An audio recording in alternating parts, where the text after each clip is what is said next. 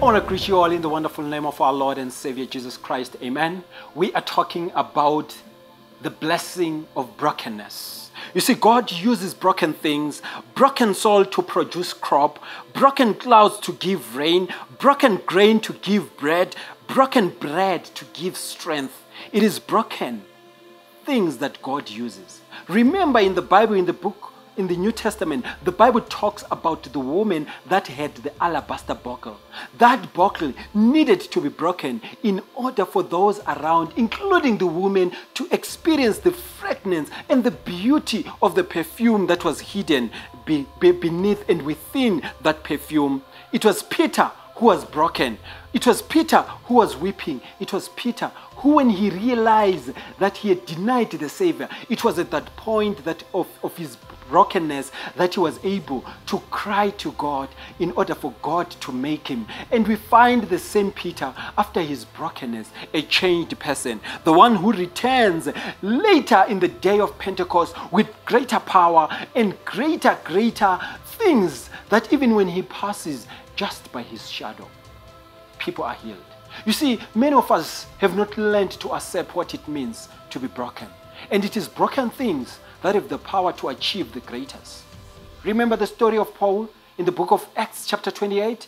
The Bible says when they, were, they got into the ship, they were moving from Jer- Jerusalem to, to, to Rome, but along the way they meet a storm. And after the storm, it is shipwreck, and the, and the very vehicle that was carrying them is broken. And God had said to Paul, hang on to whatever pieces. And Paul says to the people, listen, now that the ship is broken, now that the vehicle that was supposed to get, at, get us to our destination is broken, hold on to whatever piece that which was broken. It will get you to the other side. I'm saying to you, you might be broken. Your life may be broken. But it is those pieces that you hold on to that God wants to use to get you to the other side.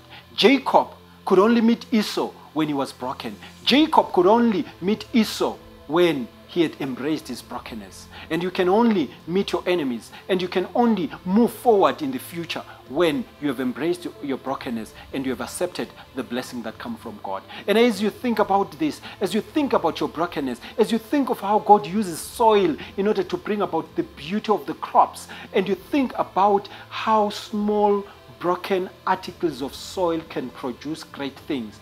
May in your brokenness, may you experience the beauty in your ash. May God bless you. May God be with you. And may God allow His grace to cover you. And may He let His face to shine upon you. Amen.